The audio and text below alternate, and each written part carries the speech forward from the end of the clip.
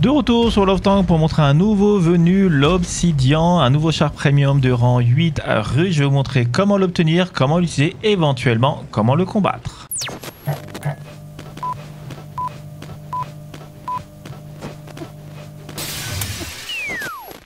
On se retrouve dans le garage pour parler de cet Obsidian, donc un nouveau char premium de rang 8 russe qui a un design assez particulier. On va faire un petit peu le tour du propriétaire. Donc le skin 3D va avec le char. Hein. Quand vous pouvez l'acquérir, vous avez ce skin 3D. Vous n'avez pas trop de choix, vous pouvez naturellement l'enlever. Je l'ai laissé parce que c'est sympathique, voilà, ça change un peu. Et surtout, je suis tellement curieux de savoir à quoi servent les roues qui sont devant, parce que ce ne sont pas des roues anti-mine, hein, comme certaines personnes m'ont dit dans le chat dans la dernière vidéo. Pour simple et bonne question, ici, c'est bloqué. Regardez, c'est bloqué. Et puis, s'il y a une mine qui passe au milieu, ça fera un peu mal. Bref, voilà. Si vous savez, dites-moi, les amis, peut-être une mauvaise représentation du skiing au niveau de Wargami.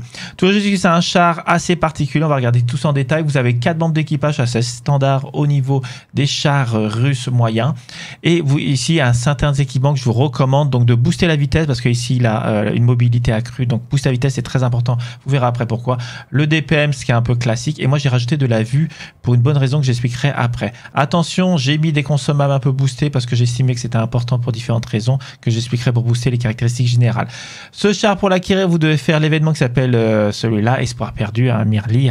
J'ai expliqué dans ma précédente vidéo, qui vous permet quand vous faites toutes les étapes de ce mode de jeu d'acquérir ce char gratuitement. J'insiste, il est gratuit si vous faites l'ensemble. Naturellement, tout est fait que peut-être vous y pas trop et du coup peut-être vous devez soit payer pour l'avoir. Les quelques étapes manquantes et naturellement il viendra plus tard euh, dans, euh, dans un autre mode ou simplement à acheter directement. Donc on va regarder tout ça en détail et surtout aussi si vous pouvez pas l'acquérir, comment le combattre, ça peut être assez intéressant parce qu'il a une particularité qui peut faire assez mal pour les joueurs qui ont pas assez d'expérience. Je vais vous comparer ce petit char à plusieurs chars de rang 8 premium, donc russe ou chinois. Petite information importante, hein, si vous cherchez ce char dans différents moteurs de recherche ou même sur internet, vous le trouverez de temps en temps sous le nom de Obsidian, qui est le, le titre de la vidéo, qui est le char en fin de compte avec un skin 3D intégré. Autrement, vous le trouvez sous le nom de Rosa Nova, qui est le char standard sans le skin 3D intégré pour information. Donc il y a les deux types de chars que vous pouvez trouver en comparaison ou simplement dans des replays ou des vidéos YouTube. Maintenant, on commence. Ce qui est important que je voulais souligner, c'est que j'ai pris des chars avec des canons de diamètre assez faibles, plus faibles de 100 mm, parce que notre char est un canon de 85 mm. J'ai eu du mal à trouver des mais je voulais aussi un, bref, quelque chose un peu de cohérent. Donc, vous avez 2400 de DPM, ce qui est juste monstrueux et intéressant, principalement à cause de son petit diamètre et des petits dommages associés. Donc, vous avez que 200 de dommages, les autres en 250.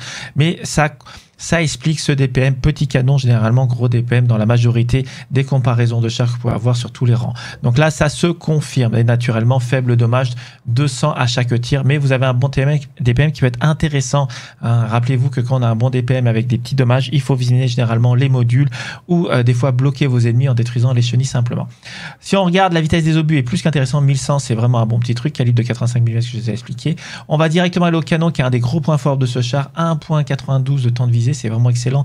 0,33 de dispersion il a un bon canon, voilà, presque proche de celui du T4400. C'est pour ça que je l'ai mis en première comparaison. Ça se ressemble assez bien si vous maîtrisez ce char et connaissez. Ça tire bien, il vise bien, c'est plus qu'agréable. On va aller maintenant directement au point problématique de ce char, la mobilité. C'est une horreur. Je vais être très clair avec vous. 42 de vitesse. Je dis, ouais, ça peut être acceptable. Non, parce qu'il a une puissance moteur qui est vraiment, vraiment mauvaise. Et du coup, vous avez un ratio de puissance moteur poids de 13. C'est un des plus mauvais de ce rang pour les chars moyens. C'est pour ça que je le classifie précisément dans les chars moyens lourds, ce char-là, au final. vous verrez sur le profil de la ça confirme certaines choses. C'est un char qui est assez pâteau pour un char moyen euh, et euh, ça peut vraiment gêner des prises de position initiales dans les batailles. Euh, voilà, donc c'est à tenir en compte.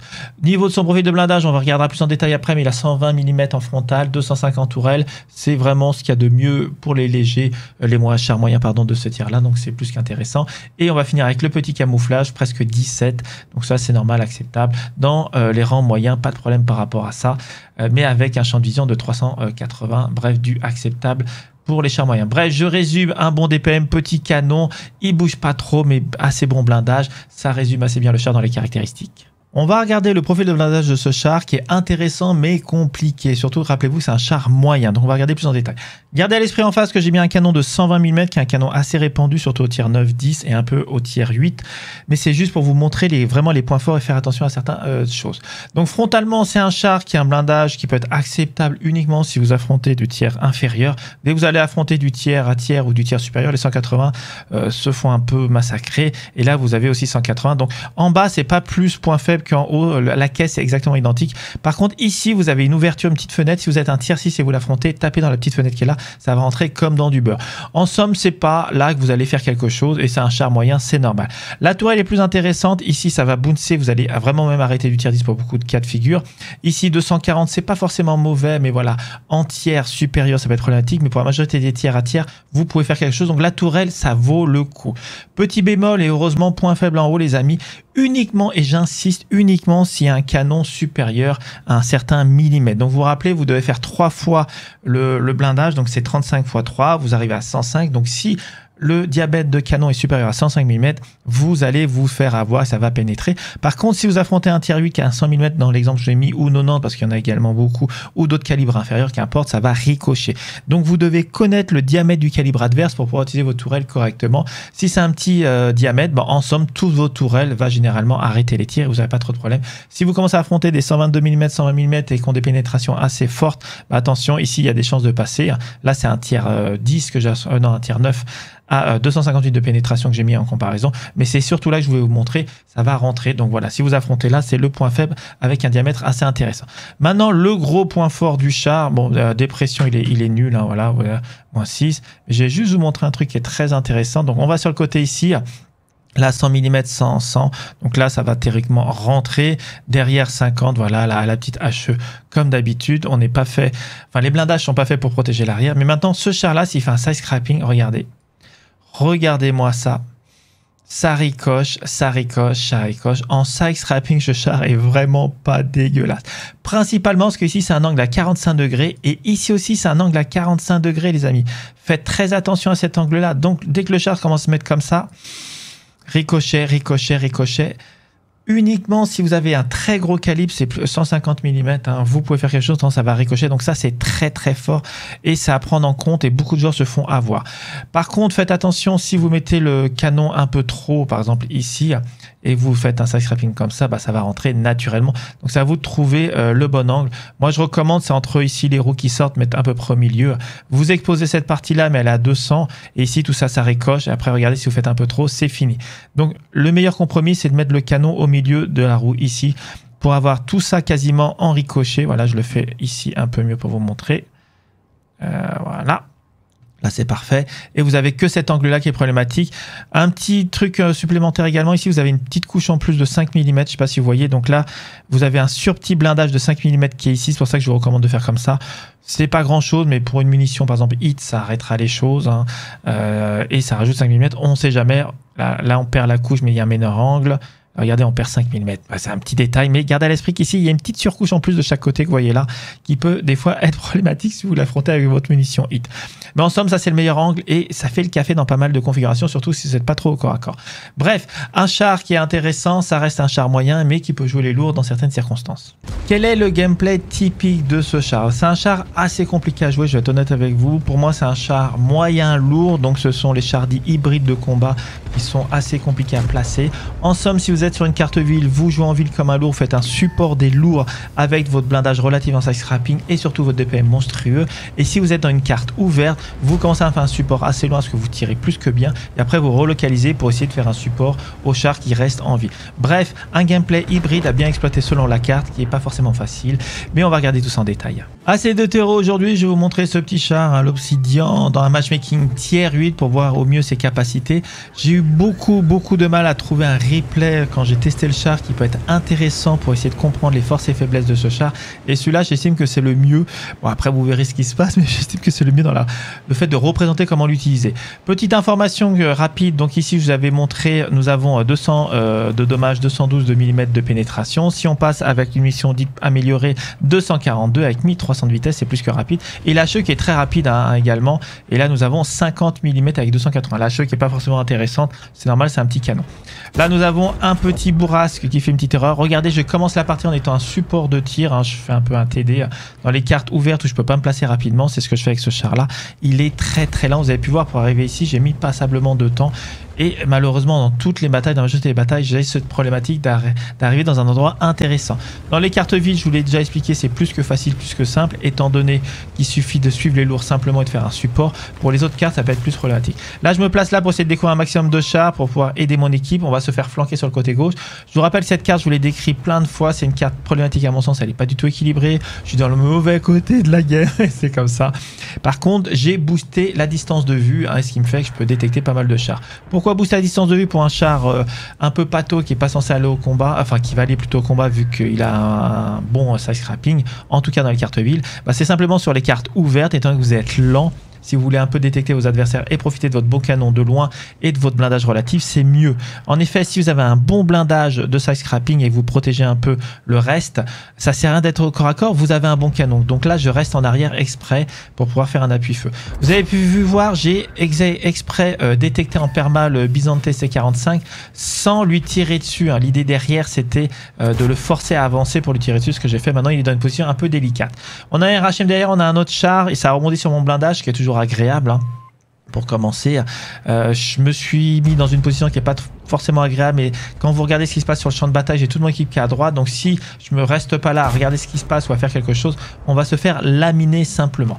Maintenant, mon idée derrière, c'est de voir où est le Byzanté, où sont les chars à gauche. Je dois faire très attention parce que les adversaires vont faire des tirs en aveugle en permanence dans les buissons où j'étais tout à l'heure, ce qui est complètement normal.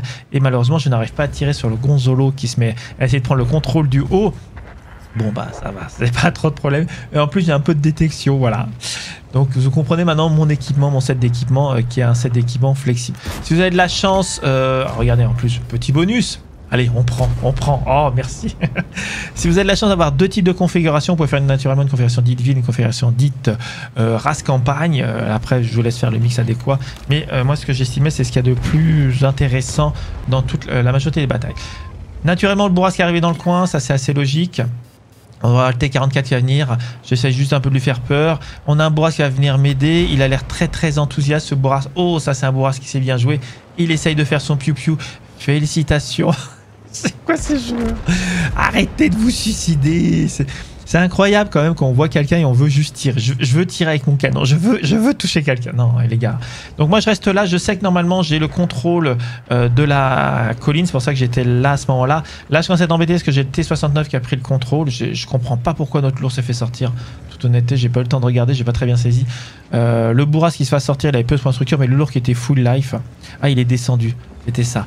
Voilà, le grand boulet. On a perdu le contrôle de, le point principal de la carte à cause d'un lourd boulet qui avait décidé de descendre. Merci, GG à lui. N'importe quoi. Bref, donc là maintenant, je regardais, je me mets un peu euh, sur le côté, sur l'angle. Je veux profiter au maximum euh, de son blindage euh, sur le côté. C'est un peu comme l'objet 257, si vous connaissez, qui est un Charlot de rang 9, qui a un blindage sur le côté pour ce qui est monstrueux. Un petit tracking, je mangle. Et regardez, là on va faire le café, regardez le DPM. Vas-y, frappe-moi, j'aime ça. Mhm. Et ça, Chessard est excellent à ça. Ça, c'est vraiment la façon de jouer qu'il faut. Vous mettez en side scrapping, vous pouvez défoncer. Je sais que j'ai un T49 derrière, T44 qui est en train de me taper. Voilà, je le traque encore. DPM, me voici, te voilà, boum, et je le sors. Je me suis pris deux coups du T44. Voilà. Au, pire, rappelez-vous, vous pouvez faire aussi un reverse side scrapping pour ceux qui connaissent. Ça marche très bien pour ce char. Je me remets bien parce que je sais qu'il y a aussi le bourras, donc je vais faire attention. Voilà, un petit coup.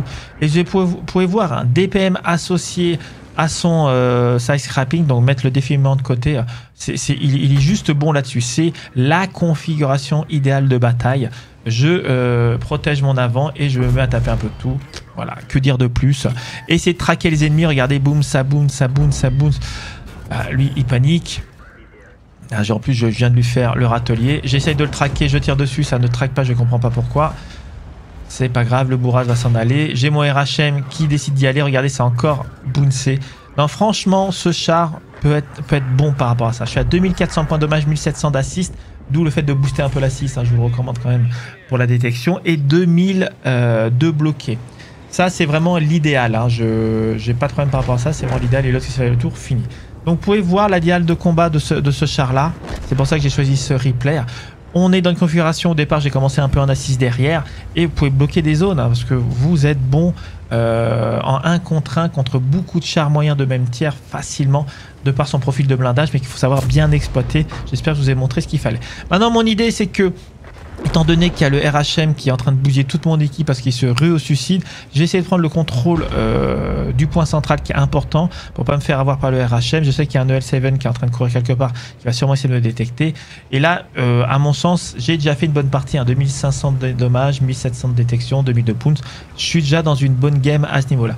Il y a un Tigre 2 qui va venir avec moi pour prendre le contrôle euh, de la colline, très bien. On va voir ce que ça donne. Et vous pouvez voir que la vitesse est ballot. C'est pour ça aussi que j'ai choisi ce replay. Ça vous permet de voir la relocalisation avec ce char. Bah, et voilà, on y va. Et je vous promets, quand vous grimpez une colline, enfin, regardez la vitesse 20, je suis déjà heureux. Ça m'est arrivé de descendre à 10-15, c'est juste horrible. On va essayer de prendre le contrôle du haut. Ouf, je, il y a ce char là qui est full life. Oh mon dieu. Je me mets en side scrapping pour essayer de booster. voilà. Il a un DP monstrueux, je vous rappelle. On essaie de le traquer. Voilà, je le traque. Il a déjà perdu quelques points de structure. Il me fait mal le salopio. Naturellement, j'ai l'arty qui vient de me mettre en PLS. Et voilà, je me fais finir à ce moment-là, j'ai 3100 points de dommage, 1700, 1800 d'assist, 2003 d'assist. Franchement, une game qui est déjà très bonne, acceptable pour du rang 8. Et euh, je vous donne dans le mine, mon équipe va se faire sortir un par un à cause de certaines boulititudes. Mais bon, on fait tous des erreurs. On va regarder maintenant le résultat. Je finis cette bataille sur une petite défaite avec euh, des dommages relativement intéressants. Donc 3100 points de dommage, 2 victimes, 3, 2300 de boom, c'est presque 2000 d'assist. Pour moi, une bataille qui est plutôt réussie pour ce char en tout cas, mais ce qui montrait en, somme, comme je vous l'ai dit, c'était vraiment dur à sélectionner un replay qui montre les bonnes choses de ce char et les très mauvaises choses de ce char. Il y a, les, points, notamment sa mobilité. Euh, mais bon, je voulais classifier en tant que moyen lourd. Je pense que vous avez compris le pourquoi du comment. Maintenant, ici, bah, je finis premier avec le Renegade qui avait plutôt bien joué. On finit avec un peu de bonus, voilà, pas de problème par rapport à ça. Et une XP intéressante. Bref, c'est un gameplay assez atypique, hein, c'est une classe moyen lourd. On aime ou on n'aime pas. D'ailleurs, on va faire un peu la petite note pamboum par rapport à ça. Moi, je suis pas très fan de ce type de gameplay. J'aime également pas trop le 257, l'objet euh, tiers, euh, enfin russe de rang 9, euh, qui a également le même principe de blindage. Hein, vous devez faire ça scraper, mais au moins lui, c'est un pur lourd. Là, c'est un moyen qui essaye de jouer un lourd. moi, je suis pas très fan personnellement. Maintenant, il a un potentiel, ce char. Il a un DPM qui est relativement très bon pour ce tir-là. Donc, il a un potentiel. Mais c'est situationnel à mon goût. Prise en main, je l'estime compliqué. Beaucoup de joueurs sont se faire avoir. Profit de blindage pas facile à maîtriser. Donc, faites attention. Et surtout, il faut connaître le calibre des adversaires pour pas se faire overmatch euh, enfin, le char dans tous les sens. Donc, voilà, c'est prise en main assez compliqué à mon sens. Mais réellement, il a un potentiel. Je fais des super games avec.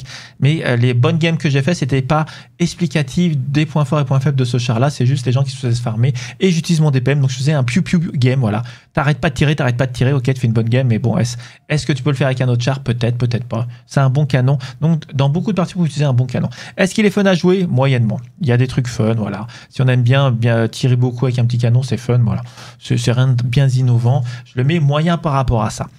Voilà, donc n'hésitez pas, en tout cas, à mettre des commentaires sur la vidéo, qu'est-ce que vous en pensez par rapport à ce char. Il vous reste que quelques jours pour l'acquérir hein, avec le mode actuellement euh, qui est en cours hein, de Mirli, hein, donc espoir perdu. Donc farmez le mode si ce char vous intéresse.